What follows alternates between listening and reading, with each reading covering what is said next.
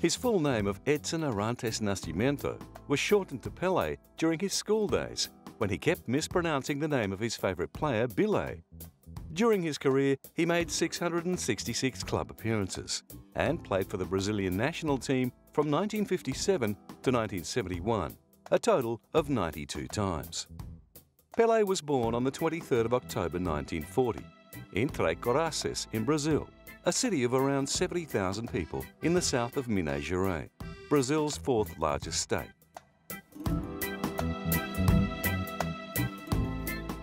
Before he found fame and fortune in the sporting world, Pele grew up in poverty in Bauru, Sao Paulo. As a youngster, he served in tea shops to earn extra money. But before long, the whole world would know him by the nickname he'd hated at school.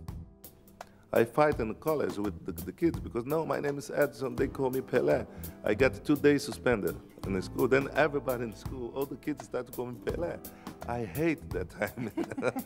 Today I love, of course. Now I love because uh, I don't know. God gave to me short name, easy to pronounce it. Any language you can remember, Pelé. Pele's talent was recognised early on by manager Waldemar de Brito, who took him to Santos Football Club for a tryout and told directors he would be the greatest football player in the world.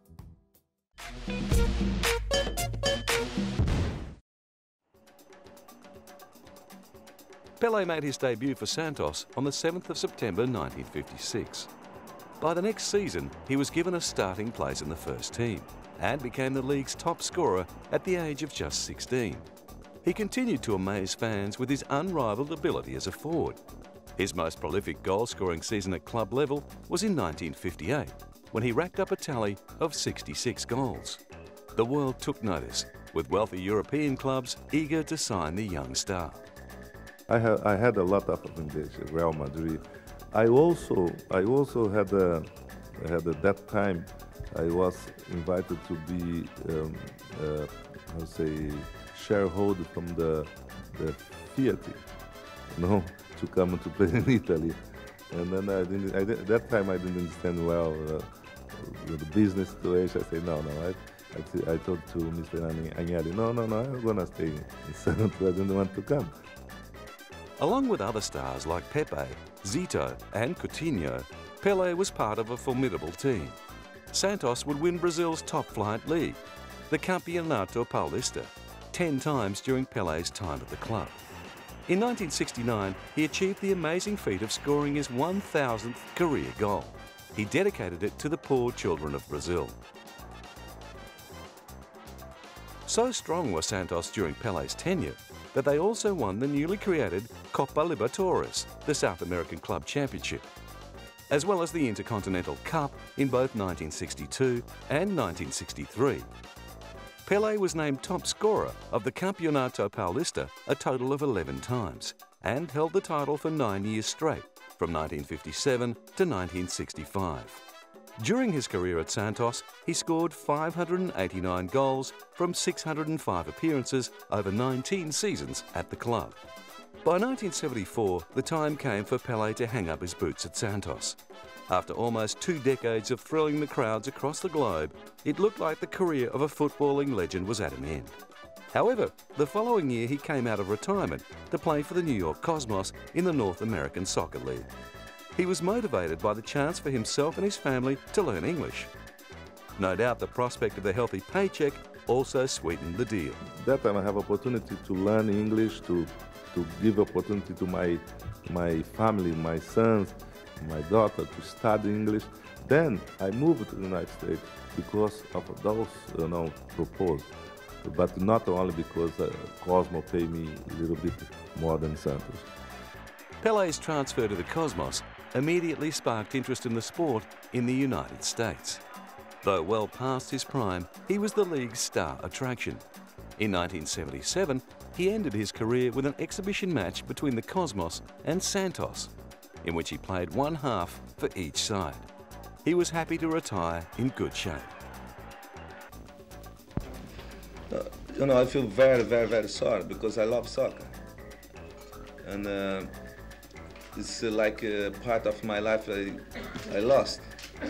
But uh, uh, it's very important when you you stop in good shape, when you can't stop in good shape. Um, of course, I'm gonna, I'm gonna miss a lot. I'm gonna be around. I'm gonna stay in, in, in a nice state. I ask to the coach if I can practice with the teammates sometimes. But uh, it's important you stop when you are in good position, in the top of career. I know I'm gonna miss, no doubt about it. And football would miss the player who made history at Santos and brought awareness of the beautiful game to the US. Some of Pele's greatest exploits and achievements came while playing for his country. During his first international match in 1957, he scored Brazil's only goal in a 2-1 defeat against Argentina. Aged just 16 and 9 months, he became the youngest player to score in international football. He played his first World Cup a few months later. Uh, my first World Cup, uh, when I was 17 years old, you know, was a beautiful history because uh, uh, years before, Brazil lost for Uruguay, the World Cup in the 50s.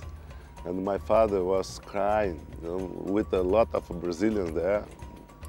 And then uh, my father used to say, oh, men should be strong, men doesn't cry. Then I saw oh, my, my father cry when Brazil lost the game. Then I told him, father, no, don't worry, I'm gonna win one World Cup for you. Don't worry. I was nine years, nine to ten years old. Then eight years late, I was in, in uh, Sweden with Brazil with 17 years old. Brazil won the World Cup. That's a gift for God because I don't, I don't know why I said I, I, I promised to my father. Pele's international career would prove even more impressive than his club record. He epitomised the unique so-called samba style of Brazilian football. He was lithe and agile. He had great balance and speed and amazing ball control. He appeared to have the ball on a string whenever he played. At the time of the 1958 FIFA World Cup, Pele was the youngest player at the tournament and at the time the youngest player ever to play in a World Cup. In the final, the first of his two goals was selected as one of the best goals in the history of the World Cup. Brazil easily won the final and Pele had fulfilled his promise to his father. He injured himself early in the 1962 World Cup and was unavailable for the rest of the tournament. Although Brazil won the cup again, Pele missed out on receiving a medal. After failing in 1966, Pele lined up for Brazil again at the 1970 World Cup. They prevailed 1-0 in a spectacular game against England, before eventually beating Italy in the final and giving Pele his second World Cup medal. His third medal came in 2007, when FIFA retrospectively awarded him the record honour to acknowledge his participation in Brazil's victorious 1962 campaign. But back in 1970, his World Cup career was coming to an end. I think one should know when to give up. I've been in the Brazilian team for a very long time. I've just turned 30 and I would never make the World Cup in Munich in 1972.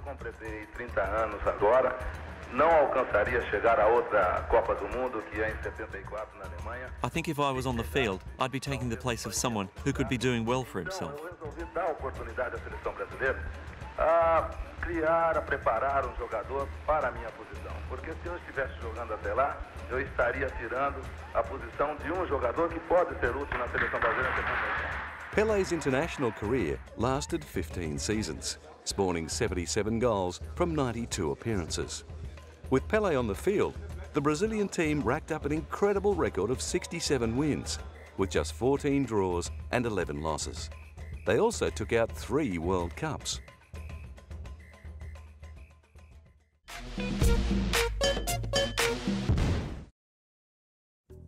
Pele's talent was so revered that he became known as the king of football. But what Pele achieved on the field, he has rivaled with his off-field activities.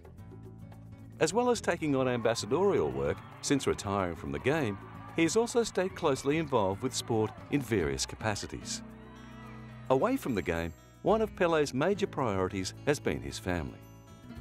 On the 21st of February 1966, he married Rosemeri dos Reis Cholbi, with whom he has three children. Kelly Christina, born in 1967, Edson, also known as Edinho, born in 1970, and Jennifer, born in 1978.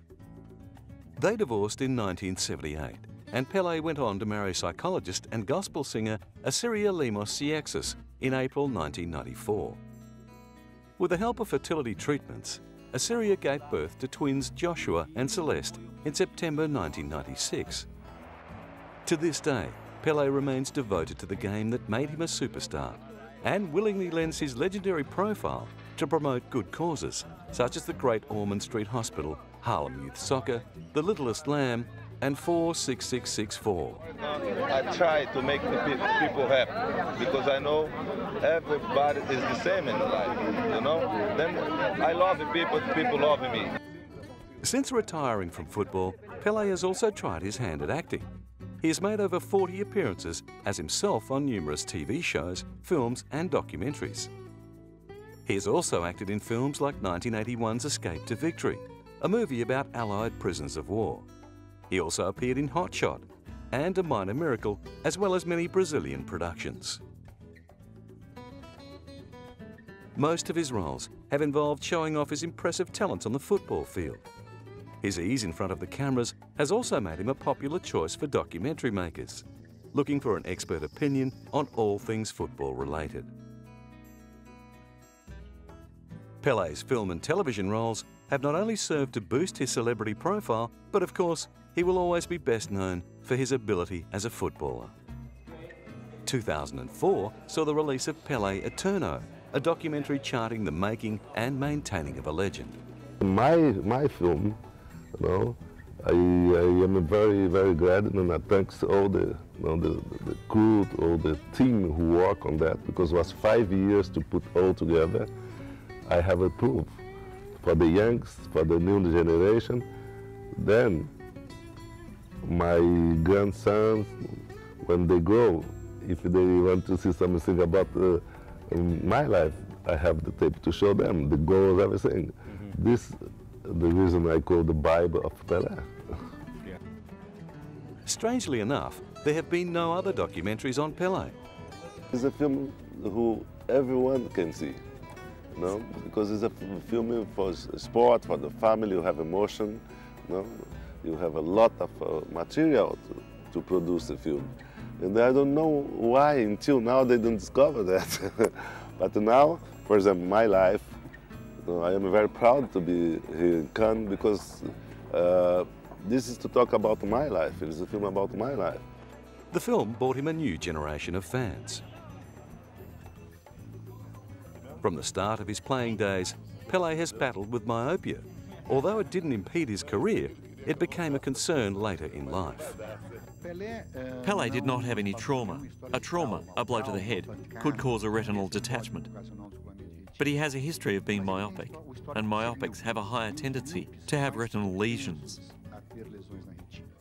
The worsening of his condition eventually led him to being confined to a wheelchair. The degree of myopia is the same in both eyes, and I can say he was a genius to have played the way he played with the degree of myopia he had. Pele's life post retirement has been almost as eventful as his playing career, but the King appears to take it all in his stride.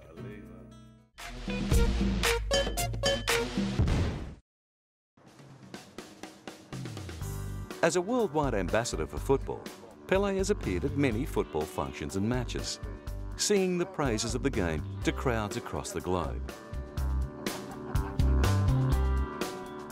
He has also been Minister for Sports in Brazil, where his opinion on the game is always held in high regard. He is especially proud to promote the game to the youth of the world. Bom, eu sempre defendi né, a, Sport is the best thing to take the kids from the street, and then soccer is the big sport in the world. It's very cheap, and it's for poor people.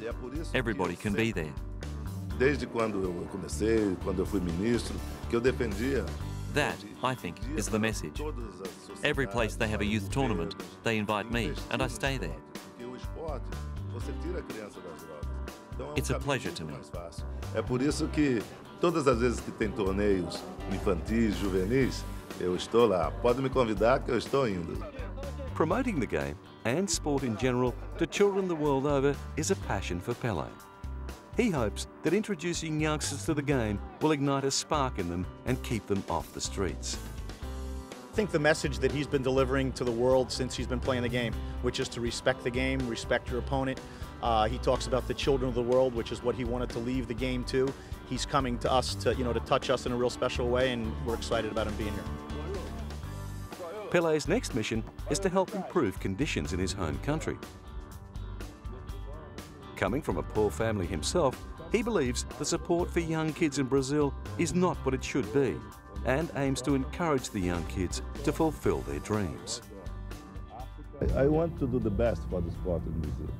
My brother, they tease me, my brother, my friend, they say, oh, you are a king before, now you are a minister, no, you, you go back. because uh, I think it's a time to, to do something. We have a, you know, big potential in Brazil, but uh, the organization is not well. And we didn't have support for the, the, the, the kids in Brazil. Then I want to try to change this uh, mentality. The only sports event that rivals the World Cup is the Olympics, and Pele was one of his country's ambassadors in Rio de Janeiro's bid to host the 2016 Olympics. He travelled to Beijing Olympics in 2008 in an attempt to drum up support for the bid. For my Brazilian friends, this is a very big responsibility for me to represent Brazil here to help bring the 2016 Olympics. This is not just for Rio de Janeiro, but for all of South America. I hope we'll win this bid. We're moving forward. I'm so happy that I'm getting the same respect from people as before, even many years after I retired. Thank you. In late 2009, the International Olympic Committee announced that Rio's bid for the 2016 Summer Olympics from the 5th to the 21st of August had been successful. It marked the first time that South America had ever been chosen for the job, and the news was received with great jubilation by the host country. I think it was a time, no, because uh, first of all, because when the uh, was applied some time ago, uh, I think Brazil was not prepared. And Brazil now is prepared. Is the, the, one of the, the, the eight economy in the world. No? And then the other thing is, after you have a lot of Olympic games in the United States, you know, uh, in Europe and, and in Central America, I think there are a moment to have the Olympic game in South America. And then Brazil are prepared for that, and Rio de Janeiro is in good time to prepare for that, no doubt. The Olympics will further Pele's campaign to introduce kids in Brazil to sport. In the meantime, he will no doubt continue to plough his energy into the many great causes he supports.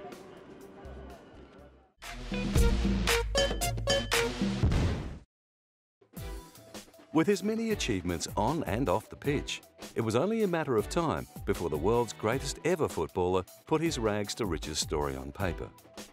In May 2006, Brazil's most famous export travelled to England to launch his autobiography, simply titled Pele.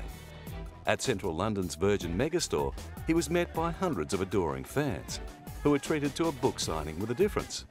Not only did they receive a personalised copy of Pele's book, they also got a taste of Brazil with some exotic samba dancing. As Pele happily signed autographs and posed for photos, one couldn't help but wonder if there was anything that he couldn't do. Despite the fame and fortune his many talents have brought him, Pele has never neglected his fans. At the ready with a wave and a smile, he's always glad to sign an autograph or pose for a photo, and has never let his status as a football legend go to his head. Since beginning his career over half a century ago, he has signed hundreds of thousands of balls, shirts and photographs. It's this dedication to his fans that has seen his fan base continue to grow around the globe. He has also inspired many young footballers to follow their dreams. Never forgetting his humble roots, Pele's generosity sets a great example for many modern-day footballers, who often seem to care more about their bank balance than their supporters. Pele's generosity is constantly renewed with all kinds of different honours. In April 2002, an exhibition in Rio de Janeiro opened to pay tribute to the football legend. Titled Pele, the King's Art, the exhibition contained over 500 items from Brazil, New York and Paris. One of the show's feature items was a display of Pele's football cleats preserved in gold. At its opening, former player and manager Mario Zagallo spoke about Pele with much admiration. In fact, Pele represented everything in soccer because of what he has done on the pitch. Mario Zagallo played with Pele in the 1958 and 1962 World Cups and served as manager when the striker led Brazil to the third world title in 1970. As he walked through the exhibition, Mario would have noticed many magazines about Pele, as well as all the different examples of Pele-inspired artwork. The exhibition also included a shoeshine box made from fish skeletons, a symbol of Pele's poor beginnings. I think that from the shoeshine box to now, God gave me this opportunity to be an example for children. From there, we can be a Pele, or we will have many Peles, if it's God's will here in Brazil. Roberto Amaral, who helped produce the exhibition, believes Pele embodies the essence of the Brazilian people. The organisers of the exhibition were hoping to take Pele the King's art all over Brazil. An exhibition in his honour is just one of the many tributes that Pele has received over his incredible career. Others include being named Athlete of the Century in 1981 and 1999, as well as the FIFA Player of the Century in 2000. In March 2004, as part of FIFA's centennial commemorations, football's governing body staged the FIFA 100, which recognised the greatest 125 living footballers, as picked by Pele. Uh, to be honoured by someone like him is even more special. And uh, I think when you're talking about the, the list, it's uh, it, it, and, and he, he, didn't put it in sequence, so it's, it's he's a special man as well. Held at London's Natural History Museum, footballers from all over the world attended. Fans were treated to an incredible gathering of past and present legends of the game. They included Franz Beckenbauer, Robert Pires, Patrick Vieira, Dennis Bergkamp, fellow Brazilians Ronaldinho and Cafu, Giancarlo Vialli, and Japan's favourite son, Hidetoshi Nakata. Pele explained he had some help in choosing the FIFA 100. But uh, I think um, you know, with the support of some friends of mine, uh, some uh, coach giving me some, some advice, then we hit the point where I feel comfortable, I did my best. The FIFA 100 wasn't restricted to just male footballers. Pele also included Michelle Akers and Mia Hamm, who have been at the forefront of developing the women's game. With three World Cups, 600 club goals and 77 international goals to his name, Pele is without doubt Brazil's greatest ever footballer, and perhaps the best the world has ever seen.